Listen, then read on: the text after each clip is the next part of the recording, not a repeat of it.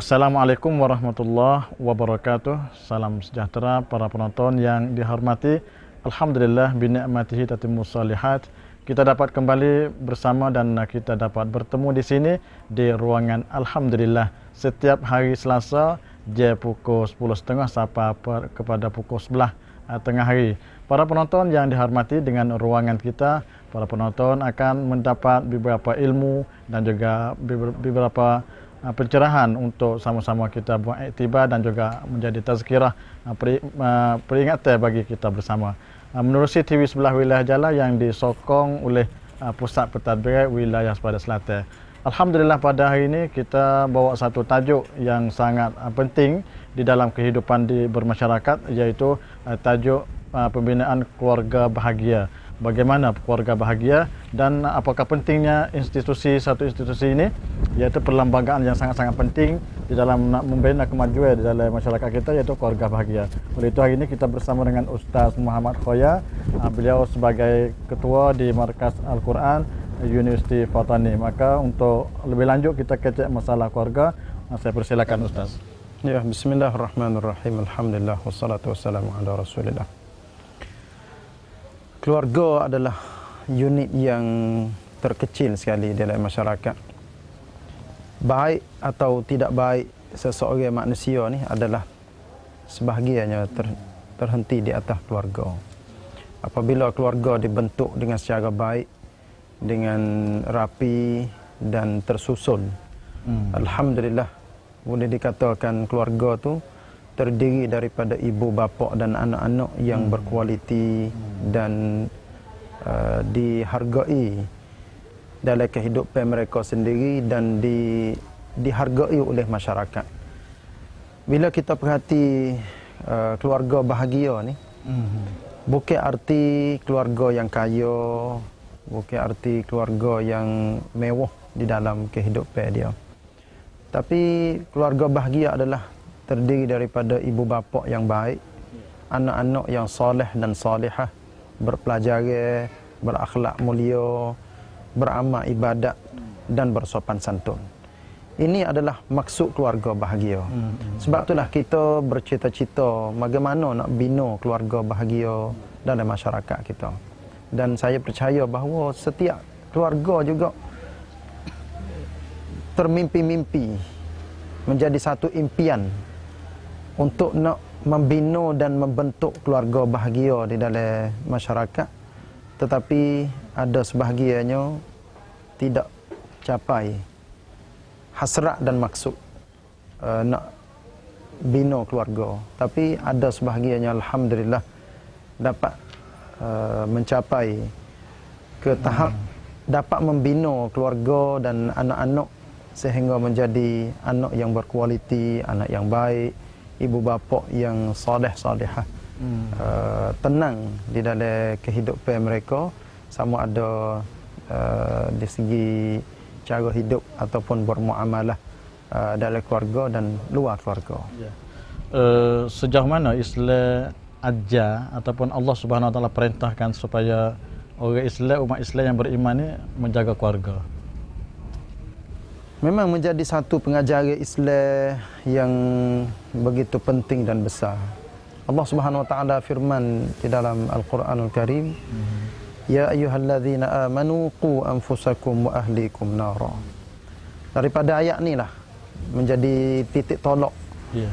Uh, satu keluarga apabila nak bina keluarga baik, jadi ketua keluarga tu sendiri, mm. uh, ibu bapa, dan utamanya nah, ibu bapa lah mm-hmm. mesti kena jaga uh, supaya keluarga dia tidak tergelincir. Mm. Apabila tidak tergelincir bermaknanya dia berdasar kepada dasar-dasar Islam di dalam pendidikan. Nak didik macam mana nak jadi anak juru anak baik. Sebab itulah setiap pasangan ibu bapa sebelum daripada dapat anak tu mm. dia kena memenuhi yeah. dalam kehidupan dia ni cara untuk nak mendidik anak-anak bukan arti boleh anak baru nak nak mengaji cara hmm. untuk nak didik anak bahkan setiap orang dia kena buat persediaan eh, sejak daripada hmm. awal-awal lagi yeah, yeah. barulah uh, apabila siapa di masa praktikal dia ataupun masa sapar untuk dia nak aman bermaknanya dia sudah pun ada ilmu siap-siap dah hmm. untuk nak didik anak-anak dia. Hmm. Lepas tu apabila kita ada ilmu dan uh, dapat pengalaman daripada orang-orang tua, orang yang berada di sekeliling kita, hmm. kita dapat membentukkan anak-anak kita supaya jadi orang baik dan orang berjuru. Walaupun uh, bentuk macam mana sekalipun, kita orang Islam ni kena bergantung yang pertama sekali dengan Allah Subhanahu Wa Taala. Sebab kepandaian kita, kebolehan kita bukan tercapai dengan kebolehan kita semata-mata. Bahkan daripada Allah Subhanahu Wa Taala campur dengan taufik dan hidayah daripadanya, maka kita akan jadi orang yang dibentuk oleh ibu bapa yang uh, baik dan pandai untuk dalam, uh, untuk nak atur cara kehidupan anak-anak supaya jadi baik. Hmm. Jadi bermakna kita tidak ada kuasa Ya. Nak membina keluarga, nak jadi keluarga baik atau baik itu mana tak usaha kita tetapi pemberian daripada Allah Subhanahu Wa Taala. Ya. Uh, Ustaz, Islam ada royak ke kata dalam kita nak jaga terutama anak kita karena anak sebagai zuriat kita. Ya. Islam ajar setara mana bukan dengan masalah umur setara ni kena buat lagu tu, tu ada anak umur berapa tahun kena godek kena gapo tu Islam ajar masa tu memang ada di dalam hadis Nabi sallallahu alaihi wasallam terutamanya hadis yang selalu kita mendengar yeah. dengan maksudnya ajarlah anak kamu solat ketika dia berumur tujuh tahun hmm. dan pukullah artinya pukul di sini untuk nak ajar dia untuk nak uh, supaya dia lekat yeah. jadi tabiat semaya tu. Apabila dia tak semaya lagi umur 10 tahun maka Nabi ayat katanya boleh godeh hmm. ulama-ulama yang bijak di dalam ha pendidikan ni yang ambil daripada hadis ni lah. Untuk mari jadi satu persatu. Hmm. macam mana nak jadi anak kita tu terbentuk? Dia panggil satu tahap satu tangga. Umur berapa kena buat gapo umur berapa kena buat gapo. Jadi setakat saya, saya dah tengok dalam buku psikologi dan buku pendidikan anak-anak ni didapati bahawa anak mula daripada duduk dalam kandung lagi hmm. kita kena didik dah yeah. ini memang menjadi satu realiti dan kebenaran yang setiap orang pakat terima belaka anak duduk dalam perut hmm. kena didik dah mula mula situ mula situ dah hmm. dengan baca eh, dengan pergaulan mok tu sendiri jangan kreat hmm. Nah, jangan kreat, jangan ada masalah banyak. Tidak ada cara uh, dia bergaul dengan suami dia. Apabila dia anak tu dilahirkan uh, mari ke dunia, maka mula daripada situlah ibu bapa kena berperani. Kena main, kena berkawan, kena rapat, kena kecek.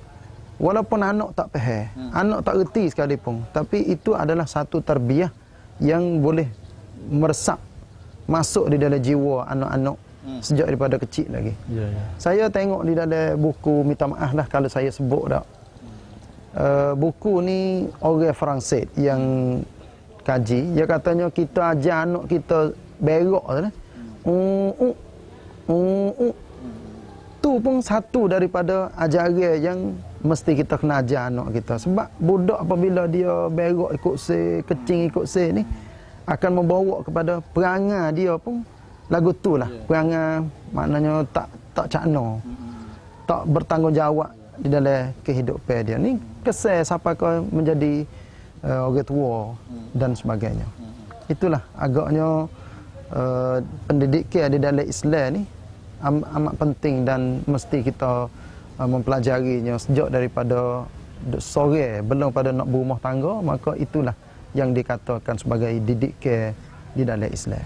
Berarti itu adalah satu satu hak ataupun satu siti ya. budak yang dia akan dapat daripada orang tua. Ya. Mula daripada dalam perut sampai kepada dia lahir sampai kepada didikan bermacam-macam didikan yang disampaikan oleh orang tua.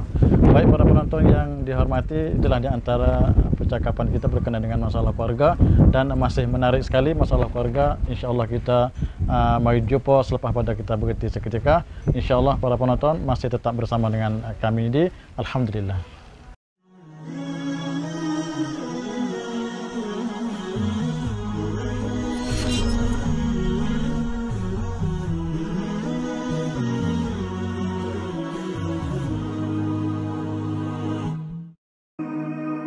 การกระทำความดีนั้นย่อมเป็นสิ่งที่จำเริญในชีวิต แล้วก็จะเกิดสิ่งที่ดีงาม แก่ตนเอง ต่อครอบครัวและสังคม ในอิสลามนี่สอนการทำความดีไม่เฉพาะกับมุสลิมเพียงอย่างเดียว แต่ทุกคนจะต้องทำความดีกับทุกชีวิต แม้กระทั่งกับคนต่างศาสนิก เพราะในอิสลามไม่มีข้อบังคับไม่มีกำแพง และก็ไม่มีกั้นระหว่างมุสลิมกับ คนต่างศาสนิก เราทุกคนคือพี่น้องมาจากเลือดเนื้อเดียวกัน มาจากพ่อแม่คู่เดียวกัน คงไม่มีสิ่งใดที่จะเหนือคำว่าเรามาสร้างความดีและก็มาแผ่ความดีงามให้กับทุกชีวิต เพราะสิ่งเหล่านั้นก็จะบังเกิดความดีและผลตอบแทนทั้งโลกนี้และโลกอาเคเร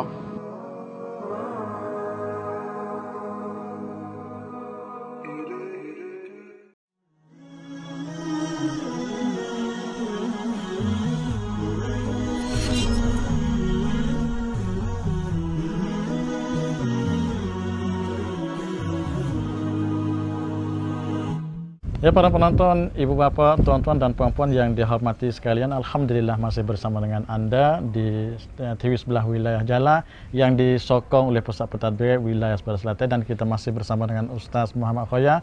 Uh, masalah uh, didik anak tadi adalah satu hak dan satu satu benda yang mesti dilakukan oleh orang tua, terutama dalam masalah uh, pendidikan sejak daripada dalam perut sampai kepada keluar dan sampai seterusnya. Ya. Dan uh, bagaimana Ustaz cara kita nak bina keluarga sakinah, mawaddah warahmah, Islam ngajar kita lagu mana? Alhamdulillah seperti yang saya sebut tadi lah. Peranan ibu bapa adalah penting dan apabila dia dapat anak, Hmm. anak itulah sebagai hasil natijah daripada uh, cantuman di antara ibu dan bapa. Berarti tanggungjawab ibu dan bapa ni am- amat besar. Apabila anak dia semakin besar dan semakin uh, pandai untuk bergaul dengan orang luar dan sebagainya, kita dalam keluarga ni bukan kita nak kepada ibu dan bapa sahaja sakinah. Sakinah artinya tenang jiwa. Hmm. Tapi kita nak juga hasil kejayaan anak-anak kita apabila anak sudah pun besar dan berjaya di dalam satu-satu perkara yang kita sudah pun atur. Kata anak kita ni, kita nak jadi gapo, nak capai cita-cita dia. Kalau sekiranya dengan takdir Allah Subhanahu Wa Taala tercapai cita-cita tersebut, bermaknanya kita tak ada dah lah. Hak kita berasa nak syukur, nak terima kasih hanya kepada Allah Subhanahu Wa Taala. Lepas tu berasa lebih kasih, lebih sayang kepada anak. Hak ni lah yang saya nak seru uh, anak-anak semua. Anak pun mesti faham hasrat ibu bapa. Mesti tunai ataupun mesti menyahut hasrat dan cita-cita yang ibu bapa Hmm. letak untuk nak menjadi anak tu berjaya di dalam kehidupan. Apatah lagi kalau sekiranya anak tu rajin semaya, akhlak mulia, hafal Quran, ada kebolehan. Orang pakat puji belaka. Apabila orang pakat sebut nama anak-anak Memang ibu bapa pun rasa bangga dan rasa bahagia. Oh sukanya hati walaupun kalau kita kecek bahasa kampung semua orang ni yang makan pong belaka.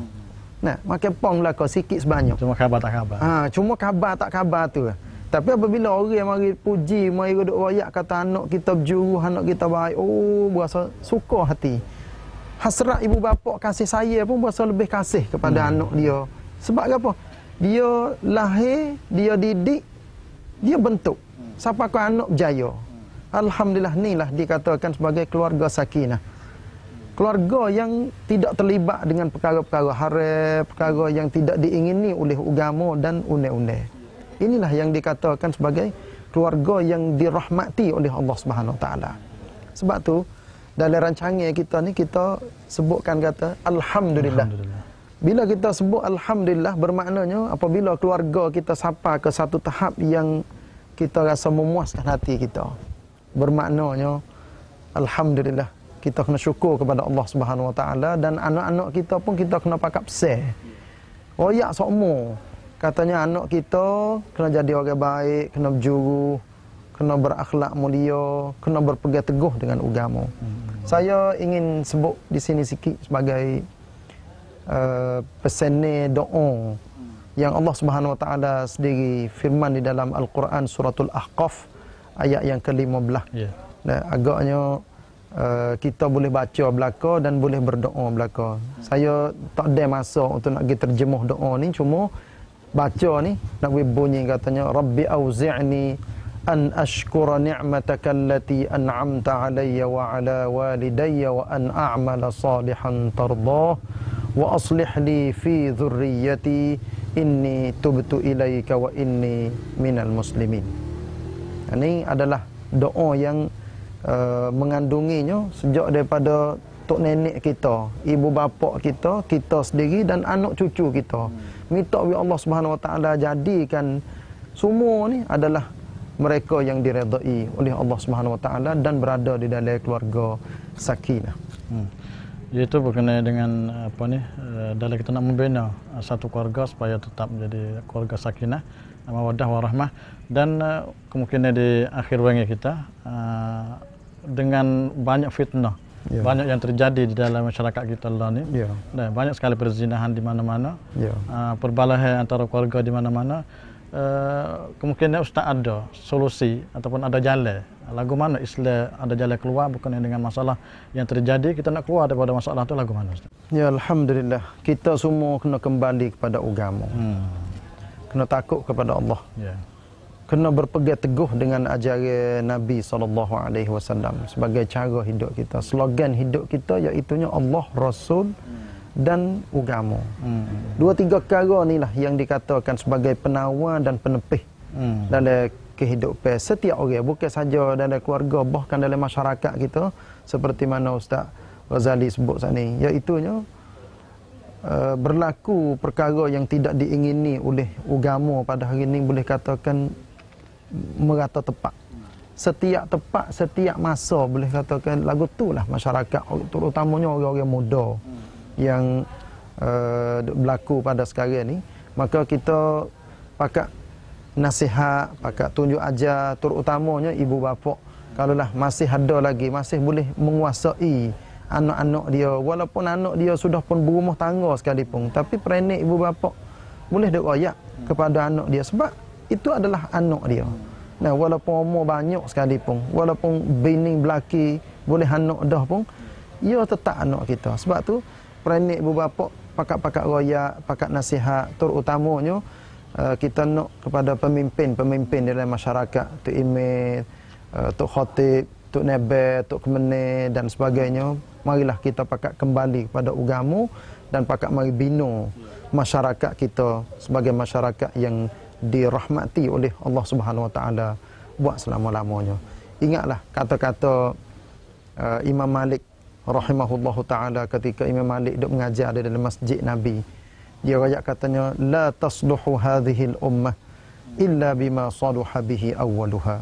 Imam Malik rakyat katanya umat ni tidak akan baik. Kecuali umat belum pada ni sudah pun baik dah.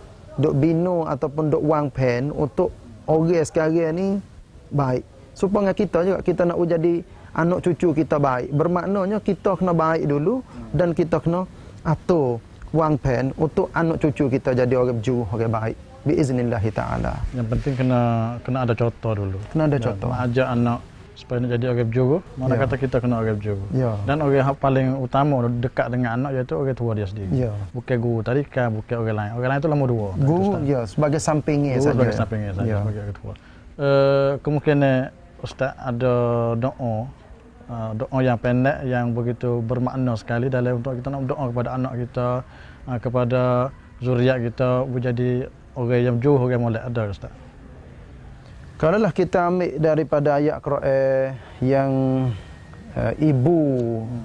Maryam hmm. berdoa ketika dia boleh uh, anak baru iaitu Maryam tu sendiri dalam doanya yang berbunyi inni u'idzuha bika wa dzurriyyataha minasyaitonir rajim ini adalah satu daripada doa yang Allah Taala sebut sendiri dalam Quran iaitunya aku berlindung dengan engkau wahai Allah dan anak cucu anak cacu, anak cucu uh, Maryam ni daripada syaitan yang dirjam. Maknanya dia minta berdoa dengan Allah Subhanahu Wa Taala supaya Maryam ni jadi orang berjuru, orang baik dan anak cucu dia juga tidak digoda dan tidak ditipu oleh hmm. oleh syaitan.